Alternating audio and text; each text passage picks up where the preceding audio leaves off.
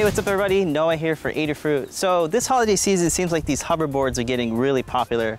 But if you're a filmmaker, somebody who just likes to get content, these actually make pretty good image stabilizers, uh, especially for getting footage. So we thought we'd make a GoPro mount uh, specifically designed for the, the hoverboard, I guess we can call it, where it just clips onto it. So let's take a look at how it works and uh, how you can use it on your hoverboard if you have one and if you want to use it for getting stabilized shots.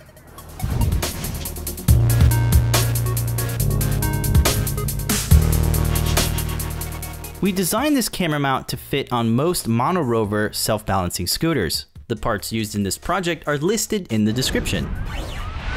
This took about an hour and a half to 3D print and it only cost around a dollar in material to actually make. To mount it to the scooter, all you have to do is wrap it around the center and slide those two clips together until it's securely locked. A cold shoe mount secures the swivel tripod adapter, allowing the GoPro to be adjusted and locked in different positions. This makes a pretty sturdy yet adjustable GoPro camera rig that doesn't obstruct riding or the scooter itself. And now let's take a look at the footage from the GoPro.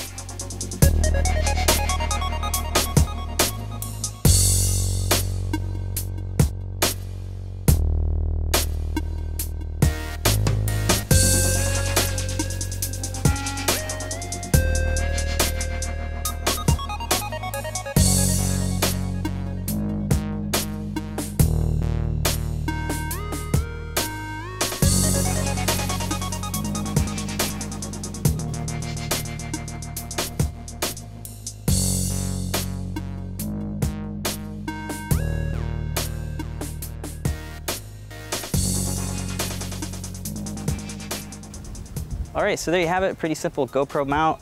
This of course can work with any other type of camera as long as it has a tripod adapter. Thank you guys so much for watching and don't forget to subscribe for more 3D printing projects. But until then, I'll see you guys in the next one. Battery's dead. Can't, I can't, I can't ride home with it.